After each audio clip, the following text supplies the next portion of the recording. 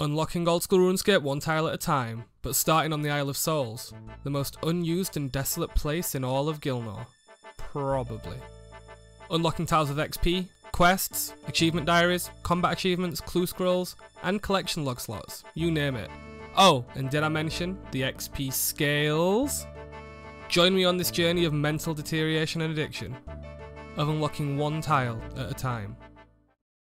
Hello everyone and welcome to episode 9 of my Tileman series. So, last episode, spoiler alert, we unlocked Tempoross. Now, I have got a few more tiles since last episode ended and I was just doing some trout and salmon fishing just to get some more for, I don't know, in case I step off the tiles in Tempoross basically. And it's always nice to have extra tiles on a Tileman. That's what the game mode's about. But I didn't record that because I was just doing it while I was eating. So I've got like 40 extra tiles, 34 or something. I have made a slot in the bank for Tempoross loot and just the extra fish that I had. Last episode we got two combat tasks complete. One for extinguishing five fires in one fight and one for repairing a Mastore totem pole. So we've still got some more that we can easily get, like subdue Tempoross five times. This one's a little harder, guess we need another like 100 tiles. Insane. But, this episode, at least at the beginning, we're just going to send a load of Tempoross I'll update every now and then, and I think a 10 kill count we'll loot the pool. So honestly, tiles should fly in this episode. I want to try and get some quests done. I'm not sure what quests yet, but I want to try and get some quests done. But for now, let's spoon some of these items. As you can see, I got a first collection log slot on the account, 20 tiles achieved just for getting these spirit flakes. So let's hope that I can get some more uniques while I'm here. Oh, and also, last episode I mentioned that I might unlock construction to get experience for repairing the masts. But I'm a bit of an idiot and forgot how hard that is on a game mode like this. The closest to estate agent is Varrock and I'm nowhere near Varrock yet. I've not got any tiles around there. Barbarian Village is the closest. So for now, we're doing it without any construction XP. As you can see, we're just about finishing up here. I got some extra fish, but didn't feel like I'd have time because I weren't hitting the essence enough. But hopefully this kills it. This should. Probably could have used some extra fish, but that's fine. This is kill count number two. As you can see, I've used quite a lot of tiles. Oh, I got a medium combat task. That is the one for not being hit, I think. Yeah, subdue Tempoross alone without getting hit by any fires, torrents or waves. Medium tasks are worth 10 for me, so that's 10 tiles that I'll add on shortly. If you could have seen on the island before, I've basically filled in the entire side of the island, minus like a few squares. I've just been doing it laxly, left clicking everything, that's why I got some extra tiles. And I'm currently 22 tiles lower than what I went in with. And you've got to bear in mind, that's after gaining tiles from the XP that I got within the quest, uh, within the kill, sorry. So, yeah, I've probably used about 30 tiles in there additional. So the side of the island's pretty packed right now. I got 7 reward permits just like last time. So I'm going to add these tiles on. Tiles added. I've now got 43. And I'm going to get back into some more Tempoross. See you soon. Seeing as I'm inefficient and want to end up doing this for a long time, I'm going to go and unlock this water pump. Now it's what, seven tiles to use it? But it lets me fill up the water buckets before the game. I could do it between the games, after the game, or whatever, but I just think this makes it a bit easier. And I'll get more than them seven tiles back from doing Tempoross anyway. Also something I totally glossed over. Hit a million experience. Kill count number 3. Got 8 permits that time. Kill count number 4. Got 9 permits this time, going up in the world. For anyone wondering as well, if like doing something like this goes against the spirit of a Tileman or anything like that, like Wintertodt kinda does. The XP that I'm getting at the minute is lower than I'd get for cooking and fishing trout. I'm getting 27,000 experience an hour including fishing and cooking. So do with that information what you will, but this is perfectly balanced in my opinion. Cooking from the fish that you get from the reward pool is just all a benefit. And this is kill count number 5 coming in, another 9 points, and a combat task. Tempoross Novice, which is just subdue Tempoross 5 times. Okay, we're currently sitting at 98 bonus tiles from the achievement diaries, collection log slots, and combat achievements, which is really cool. We're nearly at 100 bonus tiles. So, I know I said that I was going to wait till 10 kill count to loot, but I'm excited. So I'm going to go and get these 33 permits now, and then we'll do another 5 kills and then get some more. Because, let's be real, everyone's just here for the loot. Ready? Go. Oh, a casket. That's my first one.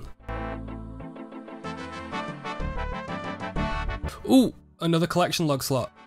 That's my first soaked pages, so I'm just going to stop for a second and add those on. 20 tiles have been added. Let's carry on. Uh, currently sat on 73 available tiles. If you know, you know. Another casket. Okay, that's not bad. We got a lot of food, we got a new collection slot item, and we got two caskets. Now, I was tempted to save up all the caskets at the ending just to open them at once, but I think it's better to do it now, while we're here. Seven emerald bracelets, interesting. I can sell them for cash. And three diamond rings. Again, can sell them for cash. I don't really need Ring of Lives. I mean, one might be nice, as I'm playing a hardcore, and it'll respawn me on Lumbridge where I've unlocked. So uh, that might have a use. This is what the Tempoross tab currently looks like. Off to do another five kills. Okay, got a Beekeeper random event. What is this? Random event number 77 or something? Attempted? I don't know. So I think this is going to be worth the tiles. Because he's got four pieces of the outfit, which is 80 tiles. Let's find out anyway. So, do, do, do, I can't actually remember how to do this. That's a lid, right? Like that, right? Awesome. Okay, so it takes two tiles to do the beekeeper event, and I got some legs. Yes! Finally, a random event collection slot. Collection slot? Collection log slot. Oh, I've been waiting so long. like, I've tried getting a lot of these already. I've not even had the, the like princess person for the frog token. That is huge and best in slot legs. Hell yeah. Add those tiles now. Tiles added. I've got 60 tiles from collection log slots. That is awesome. And we're at 138 bonus tiles overall. Well, I've just found something that might pose a problem in the long run. you see the tiles here. Can you tell which ones are marked and which ones aren't? This is a little bit lighter, so you can tell this one's not marked, right? But if you go to west, this one looks marked, but it's not. You see I've got unlocked Tileman tile. And that's because I've not ran over it yet, but I can't really tell. So in the long run, this might be pretty, pretty hard if I get more areas like this, which is definitely possible. 50 fishing achieved. Nice little milestone. 6 kill count. I'm getting 9 permits every game now, that's awesome. Seven kill count. Eight kill count. Two more to go to loot. Kill count number nine coming in. For a nine minute kill. Nice. For nine permits as well. And there it is. Kill count number 10. Completed a medium combat task. Tempoross champion. 10 tiles added. This means it's time to do some more loot. I've got 45 points in 5 games, which is really good. Those 5 games have taken me about 50 minutes. So I'm on about 54 points an hour, and to be honest, I think that's pretty good. I'm not sure how long I'm going to stay at Tempoross. I might go away and do some quests or something, I'll try to do a quest. But let's get some loot. Well, first I've got to get a net. Let's get fishing.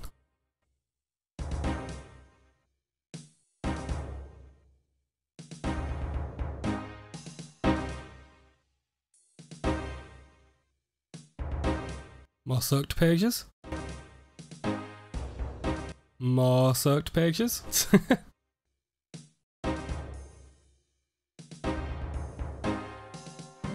and that's it. Not even a casket. Well, as always next time. Look at all this raw food that I've got there. I might actually cook this to get some more experience before I go anywhere. But, this is what the Tempoross tab's looking like. 23 soaked pages. We have got quite a lot of raw fish. Now you might be asking yourself, why the hell is this dude water striking some seagulls? And well, there's good reason for it. That's because this level gets me 500 total, which is awesome. 500 total already is actually really cool considering I've got so many skills at level 1. Nice. Sounds a bit weird and like a waste of tiles, but I am going to unlock this because it tells you how many total rewards you've claimed. And I just like looking at this stuff. So yeah, it took a tile. I'm surprised it didn't take two, to be honest. I'm glad you can look at it from the side. But there we are, currently claimed 85 rewards. Now, I'm going to be doing Tempoross as a whole for a long time. I think at bare minimum, I want to unlock the tackle box and the fish barrel. The Tome of Water will be nice, and the other stuff, it's just all nice to hit, but I'm not expected to hit it. I'm definitely going to go for the tackle box and fish barrel though, as they're the most realistically attainable. So, in the meanwhile, and between all of that, I don't just want to release five episodes in a row of just doing Tempoross, because that's boring for a viewer.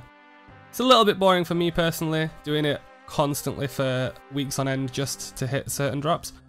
But I am going to be coming back here a lot.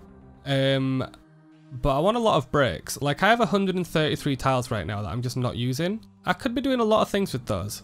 Now as I said, I want to unlock Guardians of the Rift because the minigame is just really cool. And rune crafting and runes in general will be really good on an account like this as I said in the previous episode. However, to do that, I need multiple quests.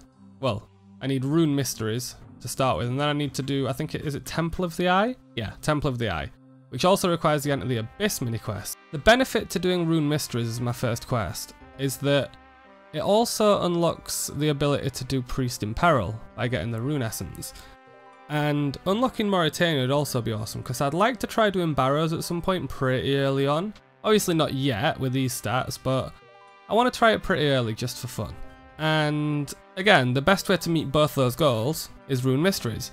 So I think I'm going to put any tiles that I've got right now and that I get from Tempoross into completing that quest.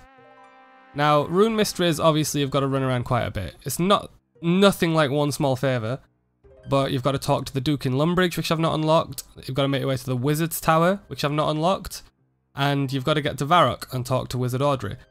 Audrey? Aubrey? It's something like that, I can't remember his exact name. But the wizard.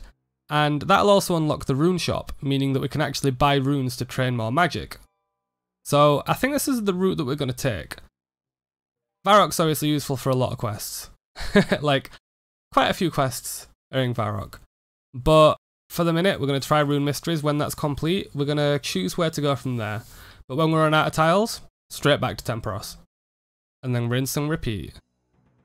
Talk to Tie Man? Talk to Tile Man. so, let's crack on with Rune Mysteries then. First things first, gotta get to Lumbridge to speak to the Duke. Okay, so, 133 tiles starting. Let's see where we get to. I need to get to the basement anyway, so I may as well unlock down to this door. Okay, that's the staircase. We're gonna need to speak to Sigmund anyway for one of the quests, so I may as well take a step forward to speak to the Duke. And there we go. First quest started. I do have the quest helper on for this. If it's a bit obstructive, let me know and I'll turn it off for future quests. Uh, it's just from when I play my other accounts because it just helps out so much. Okay, so now we need to get to the Wizard's Tower. We have a few options for this. Option 1. We can just run straight through from Lumbridge Castle all the way to the Wizard's Tower, which at an estimate is around 140 tiles to get to the ground floor. We've also got option 2, of going to Al Kharid, doing the trick to get to Port Sarim, and then running there, which will take more than 140, leaving Lumbridge Castle as the best option. But we do have another option, the Necklace of Passage. The Necklace of Passage can teleport us directly onto the bridge at the Wizard's Tower, meaning we'd be around 15 to 20 tiles away rather than 140. This saves us 120 tiles, meaning if we can obtain a Necklace of Passage for lower than 120 tiles, we'll be saving tiles. Is the area between Lumbridge Castle and the Wizard's Tower isn't all required for the account? That means that we can save the tiles, so we should try. Also, the necklace can teleport us to an area of the desert, albeit not that useful, as well as to the outpost, which is just southwest of Tree Gnome Stronghold, possibly unlocking agility. To work out if this path is worth it, we need to look at how to get a Necklace of Passage. A Necklace of Passage is an enchanted jade necklace, meaning we require a Cosmic Rune, and 27 magic to cast level to enchant. We can get the required runes for the magic level from Varrock during the quest. To make the jade necklace, we require a silver bar and a jade, as well as a necklace mould. A necklace mould most easily obtained from the crafting shop in Al Kharid. Although this will take about 25 to 30 tiles, it's a place I want to unlock regardless, so there's no loss obtaining the necklace mould. A silver bar and jade are not as easily attainable with my current unlocks, both are drops from the casket from Tempoross reward table. However, obtaining the casket and specifically hitting those drops would take a long time, and is highly improbable. So, I'll go about obtaining the silver bar the normal way, mining and smithing. Now, as we're aware, if you followed this far, I've not unlocked either skill yet. I don't even have an ore next to any tile, so I'll need to unlock a mine. My first thought was a mine southwest of Varrock, but the mine only has tin, not copper, so smithing would be impossible, and I need the smithing level to make the silver bar. Then I thought back to my time stranded on the island. The Isle of Souls mines within 30 tiles of my unlocks and contains every ore up to Mithril. As the Soul Wars bank is moderately close by, this is definitely worth unlocking. Mining silver requires 20 mining, and smithing it into a bar requires 20 smithing. The mining level should come naturally, so let's talk about the smithing. As we've not got access to an anvil, and we've got to obtain 20 smithing from just bars, reaching 15 smithing would require 386 bronze bars, so that would be 386 tin and 386 copper. Then 15 to 20 smithing, it'd require 165 iron bars, but because you lose 50% of them in the process, it's more like 330 iron ores. But it's definitely attainable for just 30 or so tiles, so it's on the cards. Next is the Jade. There are quite a few methods of obtaining jades. The only one close to me, however, are Thieving Ham members. This requires level 15 thieving, but as I have access to men, this shouldn't be a problem. The problem is that the ham hideout is around 60 tiles away, and I also need to use some inside. Also, the ham hideout is halfway to the wizard's tower, so technically, those tiles could have been contributed towards the wizard's tower, but as it's a little bit to the north, it's not really on the way to the wizard's tower, it's on the way to Draynor, so I'll let that one slide. Also, failing to pickpocket the ham members can lead to being chucked out, meaning they've either got to waste tiles or wear out the Lumbridge teleport timer to get back. I could use these teleports to my advantage though to get to the wizard's tower, but maybe not, probably not worth it. The ham hideout is required for various quests, so again, the tiles are all useful. Then we've also got the cosmic rune. A lot of monsters drop cosmic runes, and I've also got the option of using the Edgeville lever to get to the mage arena bank. I could also train Hunter to 52 and catch some bare-handed essence imps, Choices, choices. I'm not sure what route I'll take yet, but if I take the combat route, there are some moss giants on the Isle of Souls near the spawn point, but I've not got many runes left and I've not trained range yet, so I wonder if I could melee them efficiently. They've got a drop rate of 1 in 64 for cosmic runes. Finally, if I want to make the Jade necklace, I actually need 25 crafting. I can either blow glass from charter ships or craft leather. As I'm miles away from a charter ship and cows are only a few tiles away, and I've got access to the tannery in Al Kharid, I'll go with that option, which is 569 leather gloves. And so the hunt for the jade necklace begins. Now that's over with, let's crack on. So I've been looking at men for a while, and I think this is one with the least wonder distance, so even if I have to unlock a few tiles, it shouldn't be that big a deal. To thieving. I swapped the man because that one went inside, and I've just had to use a tile, but 13 to go. 5 thieving. As you can see, I've had to use another 4 tiles here. And they just run everywhere. I've not really got a choice unless I got like to unlock them in an Edgeville or something. Whenever they get trapped in this corner, they're staying there for quite a while. Had to grab some food. I'm so close to 10th even, this is so annoying. I love when they get trapped up here, but when they wander off, it's like, oof. Finally. Okay. 10th even. Whew. Five to go. And there we go. 15th even. As you can see, there's a couple of tiles that I ended up stepping on, but all in all, I used about six. I think that's worth it. I've got two back from it, so it's not the end of the world. Anyway, the reason that I want to do ham members first is because it's the most volatile out of the bunch. Like, if I get teleported around, it's it can take quite a while, so I want to make sure I can get the Jade first because the mining, the necklace mold, the cosmic rune, I know that I can get those. It might just take some tile commitment. This is the one I'm not sure on. Okay, so we're going to make our way to the ham hideout. I'm just going to click over here and let it auto mark it all. Because I'm, I'm sure we've got enough tiles to get there. What did I use? 67? Not the end of the world. Okay, here we go. Ooh, easy task complete. Completely forgot that was a thing. These extra tiles might help. Okay, okay. Five bonus tiles. I've got 25 tiles to actually get to a ham member to pickpocket them. I'm not sure I'm going to have enough. So let's just find out. Really? It takes you a tile backwards to open the door? I need this area anyway for some quests, so I'm not that bothered about using some tiles in it. This might take a while. Okay, good start. Where's it going to throw me? Into the prison. So, obviously, I can't do anything from here.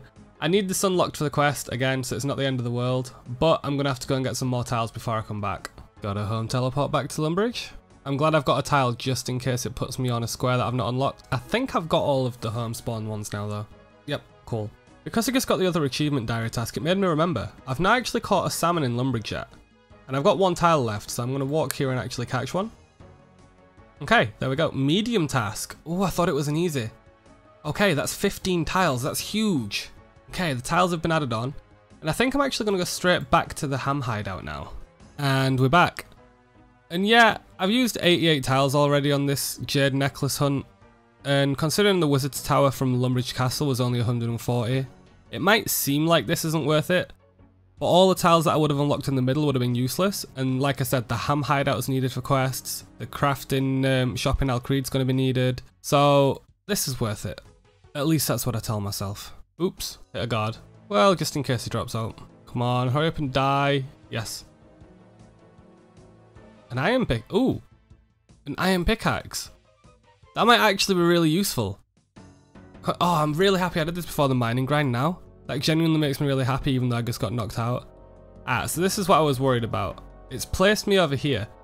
And if you have a look, this is actually so close to the Wizard's Tower, but it's not really that close because it's still like 60, 70 tiles away. Just to get from here to the Jade Necklace teleport is maybe 50, 60, so what I'm going to have to do from here is wait for my home teleport cooldown, which is 22 minutes, and come back after. So yeah, see you soon. Okay, home teleport just come off cooldown. And finally move. It feels weird being locked to a single tile for so long. I'm forever just going to have this random spot. and here we are again. I have just looked on the wiki, and Ham Guards, the one that I killed earlier that dropped me the iron pickaxe, actually also drop uncut jades.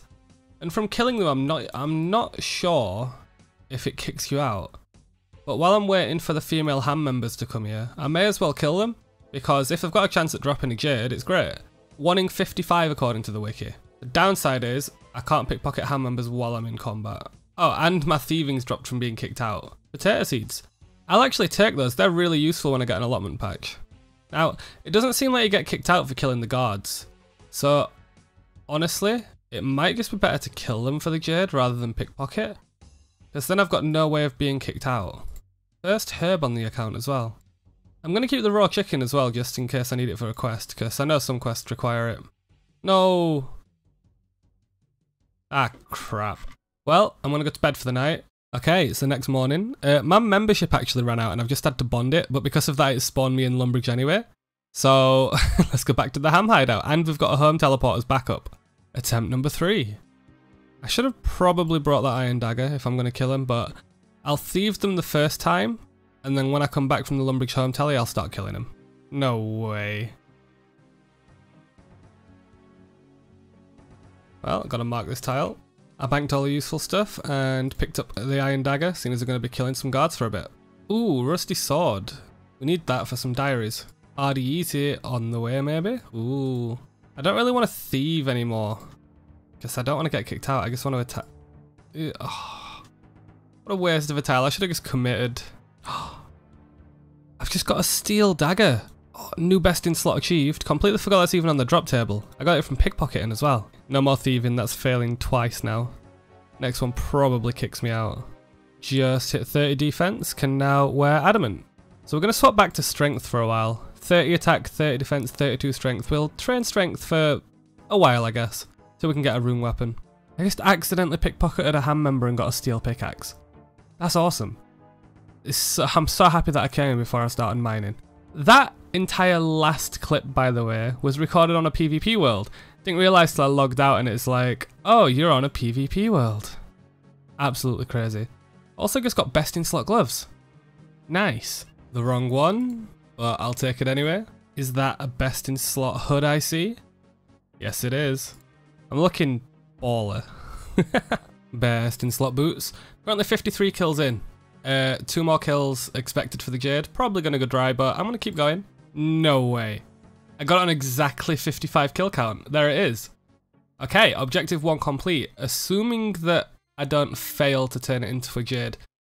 From the ham members as well, I got three cowhide for the crafting grind and some buttons for animal magnetism. So I decided to bank those as well.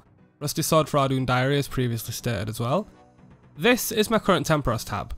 Now, I've only got 15 tiles. I've still got to train crafting, get to the crafting shop in Al Kharid, I've got to unlock the mine, I've got to smith all the bars, I've got a lot to do.